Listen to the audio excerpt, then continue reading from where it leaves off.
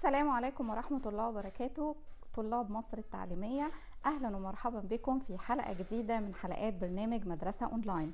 النهاردة ودلوقتي معاد طلاب الصف السادس الابتدائي وحلقة جديدة من حلقات مادة الدراسات الاجتماعية. النهاردة هنبتدي درس جديد من دروس آه، الوحدة الأولى اللي بتتكلم عن البيئة الصحراوية. نركز كويس قوي في درسنا النهاردة علشان إن شاء الله الدرس ده داخل في اختبار آه، شهر إبريل. آه، طبعا الأول بنهني كل طلاب مصر التعليمية بالنجاح والتفوق اللي حققوه في الفصل الدراسي الأول وكمان بنهني الطلاب اللي حققوا درجات نهائية في اختبار شهر مارس. يا رب عقبال شهر إبريل ومايو. هنبتدي دلوقتي درسنا مع بعض عن تنمية البيئة الصحراوية. يا ريت نجهز الورقة والقلم بتوعنا ونسجل مع بعض النقاط المهمة في الدرس. وكمان هنراجع بجزء من الأسئلة اللي إن شاء الله نلاقيها أسئلة بسيطة وسهلة ونقدر نحلها من خلال الشرح اللي هنسمعه دلوقتي. تعالوا نبتدي مع بعض النهارده في درس تنمية البيئة الصحراوية. الأول كده إحنا نقف عند العنوان يعني إيه كلمة تنمية؟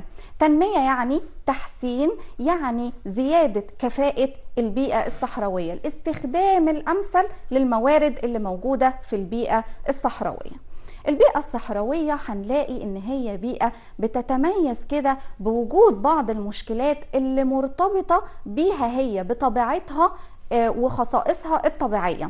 المشكلات دي بنقول عليها مشكلات بيئية يعني مرتبطة بالبيئة نفسها وبالخصائص الطبيعية بتاعتها. طب تعالوا نشوف كده مع بعض على الشاشة إيه هي المشكلات اللي هتواجه البيئة الصحراوية. عندنا أربع مشكلات بيئية موجودة في البيئة الصحراوية زي مشكلة ندرة المياه دي أول مشكلة. عندنا المشكلة الثانية حركة الرمال. والمشكلة الثالثة هي السيول وآخر مشكلة عندنا هي مشكلة تملح التربة. يبقى إحنا عندنا أربع مشكلات بيئية. هناخد كل مشكلة من المشكلات دي وهندرسها بالتفصيل ونبتدي نعرف إيه تأثيرها السلبي على البيئة الصحراوية ويا ترى إيه جهود الدولة علشان تحل هذه المشكلات. هنبدأ في أول مشكلة اللي هي مشكلة ندرة الماء. البيئة الصحراوية طبيعتها إن المية فيها نادرة. طب خصوصا الأمطار هنلاقي إن البيئة الصحراوية بتتميز بندرة الأمطار. ندرة الأمطار دي هتأثر لي على النباتات اللي موجودة في البيئة الصحراوية. يبقى أول تأثير سلبي أهو في ندرة الأمطار وندرة المياه هي إنها بتؤثر سلب سلبا على النباتات. طيب إيه كمان؟ إن ندرة المياه وندرة الأمطار هيؤدي للاستخدام الكتير لمياه الآبار وبالتالي يحصل انخفاض منسوب المياه في الآبار. طيب هو ليه هينخفض المنسوب ده؟ ده نتيجة للإسراف في استخدامها في الزراعة. هنقف كده عند كلمة الإسراف. الإسراف يعني أنا بستخدمها بصورة كبيرة دون الحاجة إليها. يعني أنا محتاجة كوباية مية لا بروح أخد كوبايتين. كده يبقى ده اسمه إسراف. يبقى بيحصل آه تأثير سلبي من المشكلة البيئية الأولى اللي هي ندرة المياه آه حاجتين. التأثير السلبي على النباتات كمان انخفاض منسوب الآبار وده بيحصل نتيجة الإسراف في استخدامها في الزراعة. كده دي أول مشكلة ظهرت عندنا في البيئة الصحراوية وارتبطت بالخصائص الطبيعية ليها. هننتقل للمشكلة الثانية بس نشوف صورة قدامنا. لندرة المياه وتأثيرها على البيئة الصحراوية. زي ما إحنا شايفين كده التربة حصل لها تشقق ده نتيجة قلة المياه أو ندرة الأمطار في البيئة الصحراوية. طيب نوصل للمشكلة الثانية اللي هي مشكلة حركة الرمال. البيئة الصحراوية طبيعتها إن هي بيئة رملية بيغطيها أو بيغطي السطح بتاعها الرمل. طب إيه اللي بيحصل؟ قالنا إن الرياح بتبتدي تاخد الرمال دي وتنقلها في مكان تاني بفعل الرياح. يبقى الرمل المفكك ده بيتم نقله لمكان آخر ده بفعل الرياح.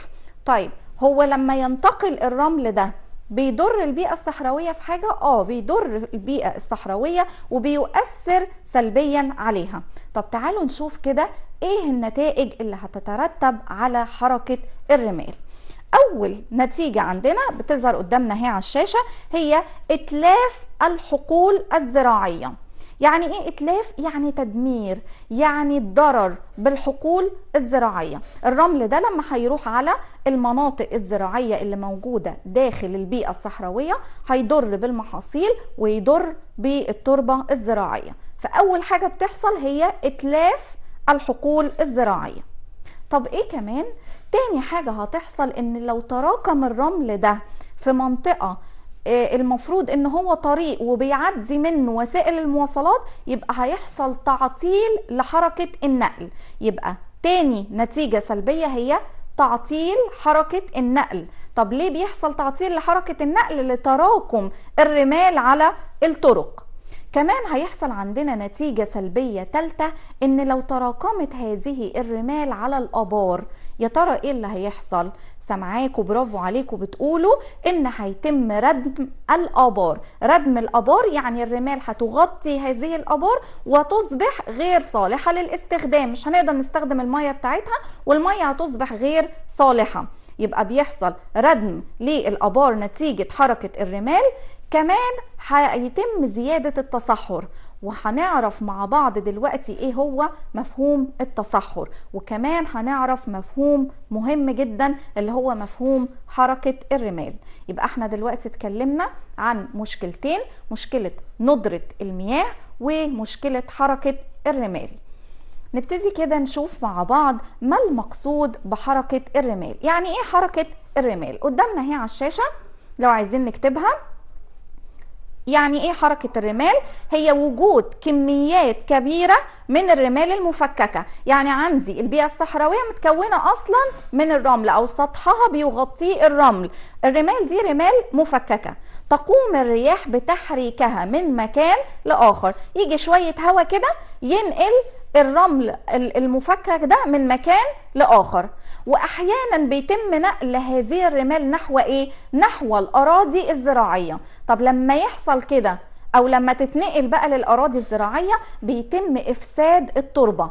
يعني التربة بتصبح غير قادرة على الإنتاج الأمثل. بت... التربة بتقل كفاءتها وتقل إنتاجيتها وبيتحول الأرض دي لأرض صحراوية. ما هو الرمل جه عليها وغطاها الرمل فحصل حاجة اسمها التصحر. يبقى نتيجة حركة الرمال بيحصل عندي تصحر للأراضي الزراعية. طيب نشوف كده مفهوم التصحر مع بعض. المفهوم بتاع التصحر بس نشوف الأول كده صورتين لحركة الرمال. عندنا الصورة الأولى اهي موضحة لنا تراكم الرمال والصورة الثانية قدامنا أهي موضحة لنا الحركة بتاعة الرمال وتأثيرها على الحقول الزراعية. أدينا شايفين أهو الرمل موجود على الزراعة اللي موجودة في هذه المنطقة وطبعا ده بيضر بالتربة. التصحر التصحر ده مفهوم مهم قوي ونركز في هذا المفهوم. المقصود بالتصحر هو تدهور التربة. طيب وإيه كمان؟ وانخفاض قدرتها الإنتاجية. يعني التربة بتتضر وكمان التربة مش هتقدر تنتج المحاصيل الايه اللي هي تقدر تنتجها. لا ده بتقل قدرتها الإنتاجية. يعني لو الأرض هتقدر تنتج طن لا بنلاقي إن الأرض دي إنتاجها بيقل وتنتج نص طن. طب حصل ليه قلة القدرة الإنتاجية دي؟ ده نتيجة حركة الرمال وظهور ظاهرة التصحر. يبقى دلوقتي إحنا اتكلمنا على مشكلتين ارتبطوا بالخصائص الطبيعية للبيئة الصحراوية. أول مشكلة كانت ندرة المياه وتاني مشكلة عندنا هي مشكلة حركة الرمال وتأثيرها السلبي على الأراضي الزراعية.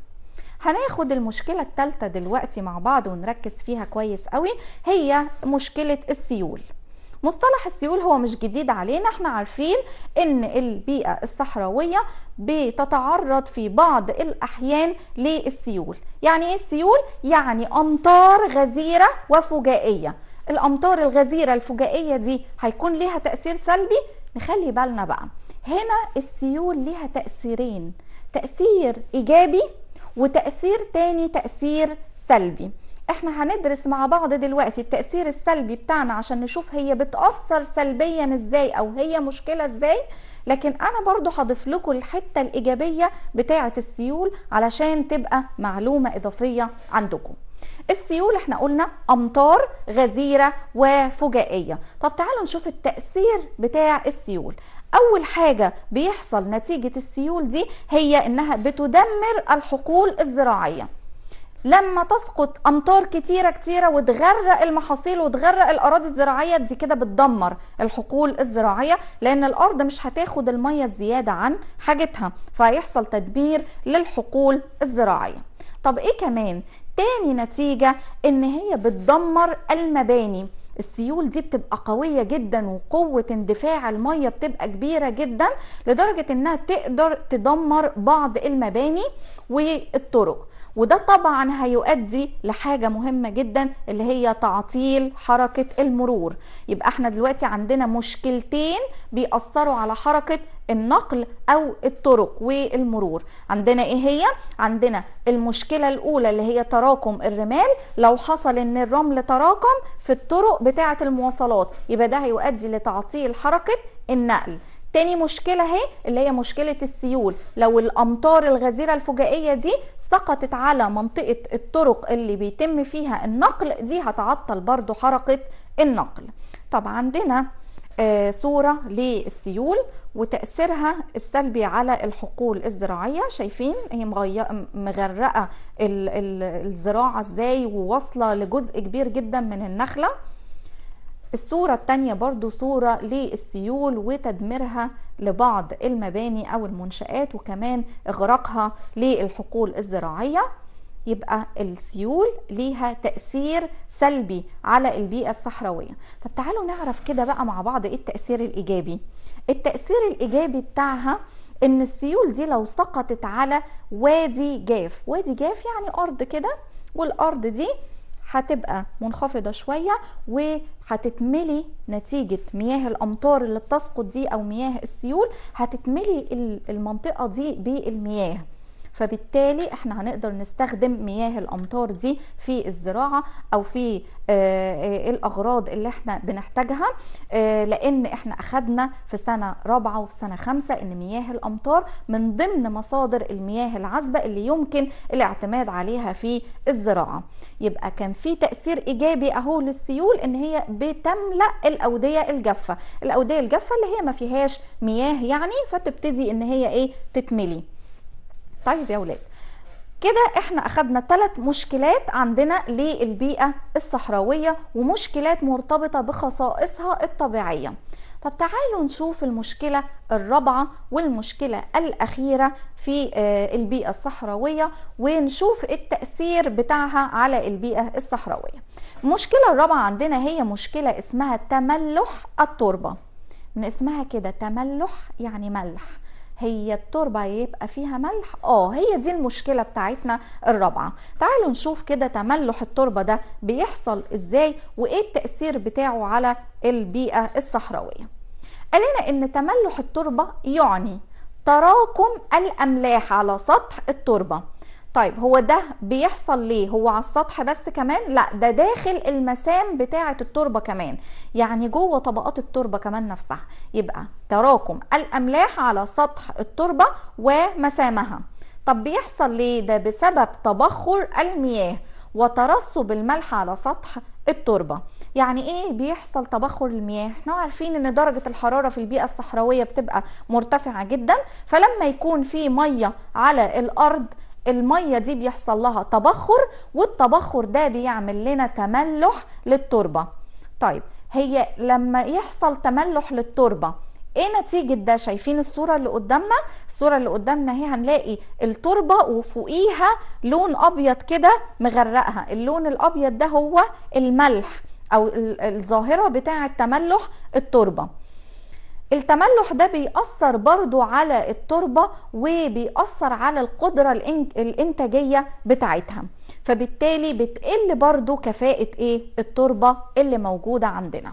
يبقى دول كانوا أربع مشكلات واجهوا البيئة الصحراوية وهذه المشكلات أثرت سلبا على البيئة الصحراوية. كان لازم الدولة يكون ليها جهود علشان تحاول تحل هذه المشكلات.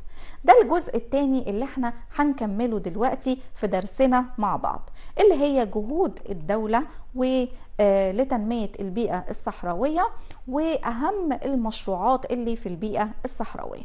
هيظهر قدامنا كده دلوقتي صورة لأهم المشروعات والجهود اللي بتقوم بيها الدولة لحل هذه المشكلات. أول جهد عندنا من الجهود هو استصلاح الأراضي. البيئة الصحراوية فيها بعض الأراضي اللي يمكن استصلاحها يمكن إن أنا أصلح الأراضي دي وأعالجها وأبتدي أحولها لأرض زراعية. يبقى أول جهد الدولة بتعمله هي استصلاح الأراضي في البيئة الصحراوية. طيب إيه كمان؟ المشروع الثاني أو الجهد الثاني ده مرتبط بأول مشروع اللي هو مشروع استصلاح الأراضي. تاني جهد عندنا اللي هو حفر الآبار العميقة. أنا عشان أستصلح أراضي وأزرعها لازم يكون عندي مصدر للمياه. طيب الدولة عشان توفر مصدر المياه ده في البيئة الصحراوية بتعمل إيه؟ بتعمل حاجة اسمها حفر الآبار العميقة. يعني أبتدي أحفر في البيئة الصحراوية وأدور على المياه الجوفية وأطلعها في صورة هذا البير. طب إحنا نفتكر كده مع بعض إيه الفرق ما بين الآبار وما بين العيون؟ الآبار بيتم حفرها بصورة عميقة في باطن الأرض. أما العيون بتتفجر تلقائيا يعني بتظهر على سطح الأرض وهي اللي بتفتح القشرة كده أو السطح بتاع الأرض وتظهر منها المياه. يبقى العيون بتتفجر تلقائيا لكن الآبار بيتم حفرها. يبقى. الدولة بتعمل إيه؟ بتحفر الآبار العميقة. طب من أهم المشروعات اللي حصل فيها حفر للآبار وكمان حصل فيها استصلاح للأراضي. هو مشروع شرق العوينات. مشروع شرق العوينات ده مشروع كبير جدا قامت به الدولة لاستصلاح الأراضي الزراعية اللي موجودة في شرق العوينات وكمان ابتدت إن هي تحفر الآبار لتوفير مصادر للمياه اللازمة لاستصلاح هذه الأراضي الصحراوية وتحويلها لأراضي زراعية. وشوية كده وهوريكم كمان صورة لهذا المشروع. ننتقل للجهد الثالث للدولة لحل مشكلات البيئة الصحراوية وهي إنشاء شبكة من الطرق. ودي بقى نركز فيها كويس قوي. البيئة الصحراوية لازم يكون فيها شبكة طرق جيدة. ليه؟ الدولة كانت بتهدف لحاجتين. أول حاجة إنها تربط البيئة الصحراوية بالوادي والدلتا. لأن إحنا خدنا في أول درس خالص السنة دي إن البيئات عندنا في تكامل ما بينهم وإن كل بيئة بتمد البيئة الأخرى بما تحتاجه. طب البيئة الصحراوية لما تحتاج بعض المنتجات من البيئة الصناعية أو بعض المحاصيل من البيئة الزراعية هتقدر تحصل عليهم لو مفيش طرق للنقل تمشي عليها وسائل المواصلات؟ طبعا لأ. فكانت الدولة بتهدف إلى إنشاء شبكة من الطرق علشان تربط البيئة الصحراوية بالوادي والدلتا وكمان الهدف الثاني إنها تنشط حركة التجارة. يبقى الدولة هدفت من الجهد الثالث ده أو المشروع الثالث إنها تنشط التجارة وتربط البيئة الصحراوية بالوادي والدلتا. ننتقل للجهد التالي أو المشروع التالي اللي الدولة قامت به لحل مشكلات البيئة الصحراوية وهو استزراع الكثبان الرملية. الأول كده كلمة كثبان رملية دي يعني إيه؟ مش إحنا قلنا إن في حركة للرمال إن الرمل بينتقل من مكان لمكان تاني. ده اللي بيحصل بالظبط. الرمل بيتراكم في من مكان لمكان تاني وبيبقى متراكم كده فوق بعضه فبنسميها كثبان رملية. طيب الدولة بتعمل إيه في المنطقة دي؟ الدولة قدرت إنها تعمل مشروع استزراع لهذه الكثبان. يعني تبتدي تزرع فيها. ومش أي أنواع زراعة. خلوا بالكم هي في أنواع معينة اللي هتبتدي تتزرع في هذه المناطق. طيب البيئة. الدولة لما تبتدي تزرع هذه المناطق إيه أهم المشروعات اللي عملتها الدولة في استزراع الكثبان الرملية؟ كان عندنا مشروع مهم جدا قامت به الدولة في جنوب واحد سيوة إنها ابتدت تستزرع الكثبان الرملية. استزراع الكثبان الرملية ده بيبقى عبارة عن إيه؟ إن ممكن أنا أحط نخل موجود في هذه الكثبان الرملية علشان يثبت الرمال دي وما تنتقلش للأراضي الزراعية. كمان ممكن حوالين الأراضي الزراعية علشان أبتدي أحميها من حركة الرمال أو من تراكم الرمال إن أبتدي أزرع النخيل ده علشان يعمل كمصدات للرمال. ما تنتقلش الرمال دي للأرض الزراعية وتبتدي تعمل على تدهور التربة ونشر ظاهرة التصحر. بس إحنا المقرر علينا أو اللي إحنا المفروض نعرفه كويس إن الدولة قامت بمشروع استزراع الكثبان الرملية في جنوب واحد سيوة. الجهد الرابع أو الخامس كمان عندنا هو الجهد الاهتمام بالمحميات الطبيعية. طبعا إحنا في الدرس اللي فات في الجغرافيا أخدنا إن البيئة الصحراوية موجود فيها العديد من المحميات الطبيعية والمحمية الطبيعية يعني منطقة بيكون فيها كائنات حية نادرة والدولة بتبتدي إن هي تعمل على حماية هذه المنطقة وحماية هذه الكائنات من الانقراض. البيئة الصحراوية موجود فيها العديد من المحميات وهنشوف دلوقتي خريطة لهذه المحميات. ونوصل للمشروع الأخير اللي قامت به الدولة وهو إنشاء السدود. إنشاء السدود إيه ده؟ إحنا فكرة السد مش جديدة علينا. بنتم إنشاء السد علشان نخزن المية الزيادة اللي موجودة في آه الوقت ده. طيب إحنا هننفع نعمل سد في البيئة الصحراوية؟ آه ينفع. لأن إحنا قلنا إن في مشكلة بتواجه البيئة الصحراوية اللي هي آه مشكلة السيول. طب. الدولة بتعمل إيه؟ بتبتدي تبني سيول على مجاري الأودية اللي ممكن يسقط فيها سيول. زي إيه؟ زي سد الروافعه اللي عملته الدولة على وادي العريش. أنشأت هذا السد علشان تخزن المياه الزائدة لما تسقط السيول ويبتدي تتراكم هذه المياه فيتم تخزينها للاستفادة منها طبعا في استصلاح الأراضي الزراعية أو الصحراوية يعني وتحويلها لأراضي زراعية. هنشوف دلوقتي صورة للآبار العميقة اللي قامت الدولة بحفرها وقام عليها مشروع مهم قوي اللي هو مشروع شرق العوينات. أهو مشروع شرق العوينات هنشوف قدامنا إزاي البيئة الصحراوية تحولت أو الأراضي الصحراوية دي تحولت إلى أرض زراعية.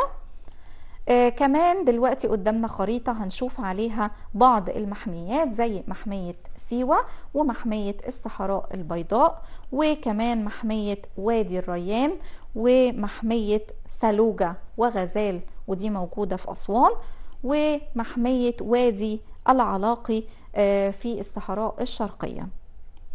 كمان موجود عندنا صورة أخرى للصحراء البيضاء. دي أحد المحميات اللي موجودة في البيئة الصحراوية وسبب التسمية ده دي برضو معلومة ليكوا أنتوا أولاد إن الصخور اللي موجودة هناك بيطغى عليها اللون الأبيض زي ما إحنا شايفين كده فتم تسميتها بالصحراء البيضاء.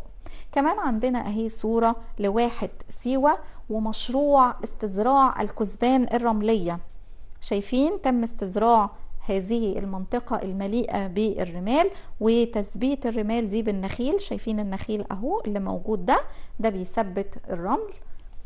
آه برضو مشروع استزراع الكثبان الرملية اهو قدامنا بعض الزراعات اللي موجودة اهو في الرمال. والصورة الأخيرة قدامنا هي صورة لسد الروافعة اللي تم آه بناؤه على آه وادي العريش. كده دي كانت أهم جهود الدولة لحل مشكلات البيئة الصحراوية ورفع كفاءة الموارد اللي موجودة فيها.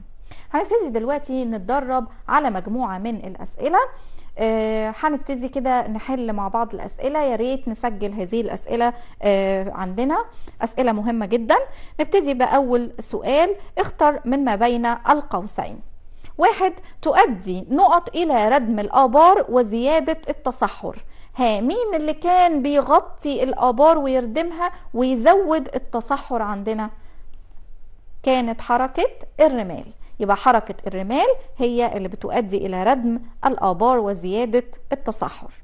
طب رقم اتنين قامت الدولة بمشروع استزراع الكثبان الرملية جنوب واحد. ها جنوب واحد إيه؟ إحنا لسه شايفين صورتها. برافو عليكم هي جنوب واحد سيوة. اختر من ما بين الأقواس. ورقم ثلاثة عندنا هي تدهور التربة الزراعية وانخفاض قدرتها على الإنتاج ده بيسمى بإيه؟ لما يحصل كده تدهور للتربة الزراعية وتنخفض قدرتها على الإنتاج ده بيسمى بالتصحر ده مفهوم التصحر. نخلي بالنا ما نلخبطش ما بين سبب تدهور التربة وانخفاض إنتاجيتها وما بين مفهوم التصحر. التصحر هو اللي بيعني تدهور التربة الزراعية وانخفاض قدرتها على الإنتاج. فما نجيش نقول حركة الرمال. هي حركة الرمال بتسبب التصحر لكن مش ده مفهوم حركة الرمال. عشان بس ما نلخبطش ما بين السبب وما بين مفهوم التصحر. طب رقم أربعة أنشئ سد الروافعة على وادي ها على وادي إيه؟ على وادي العريش رقم خمسة تقع محمية وادي الريان محمية وادي الريان فين؟ في محافظة دي بقى من الدرس اللي فات لأن إحنا بنراجع كده على الوحدة كلها من محافظة أو في محافظة الفيوم محمية وادي الريان دي موجودة في محافظة الفيوم يوجد الذهب في مناجم نقط بالصحراء الشرقية. طبعا إحنا عارفين إن مناجم الذهب موجودة في الجبال بتاعة البحر الأحمر. طيب من أهم المناجم عندنا هو منجم السكري. السؤال رقم سبعة. نركز برضو على السؤال ده قوي يا ولاد عشان سؤال مهم. ويعني في تكة كده صغيرة نركز فيها. بيقول لنا يتركز السكان في منطقة نقط حيث يتم تعدين الحديد. يعني كأن السؤال بيقول لي هو إحنا بنستخرج الحديد منين؟ يبقى إحنا بنستخرج الحديد فاكرين إحنا كنا بنقول حديد فيها ح والواحات البحرية فيها ح. يبقى الحديد بيتم استخراجه من الواحات البحرية.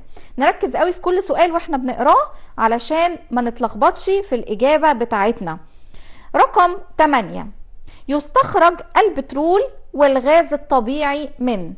ها بيتم استخراج البترول والغاز الطبيعي منين في الصحراء الغربية؟ برافو عليكم من شمال الصحراء الغربية. هننتقل كمان لسؤال مهم. من المزارات الدينية في البيئة الصحراوية دير سانت كاترين ونقط. إحنا اخدنا إن البيئة الصحراوية فيها نشاط السياحة وإن من أهم المناطق اللي بيقوم فيها نشاط السياحة ده يا إما المناطق اللي بيكون فيها مزارات دينية زي دير سانت كاترين وجبل جبل مهم قوي اللي هو جبل موسى. يبقى كان إجابة السؤال بتاعنا جبل موسى. آخر سؤال هو أهم الحبوب الغذائية في البيئة الصحراوية. كان محصول الشعير أو حبوب الشعير. كده نكون إحنا خلصنا درسنا النهارده. بتمنى تكونوا استفدتوا واتمنى تكون الأسئلة آه سهلة وبسيطة عليكم. آه اللي طالباه منكم دلوقتي إن إحنا هنحل أسئلة الكتاب المدرسي على درس تنمية البيئة الصحراوية وكمان نحل أسئلة الوحدة آه الخاصة بالبيئة الصحراوية. هستنى إجاباتكم تبعتوها لنا على صفحة البرنامج على الفيسبوك وإن شاء الله هيتم تكريم كل الطلاب اللي هيحلوا هذه الأسئلة بصوره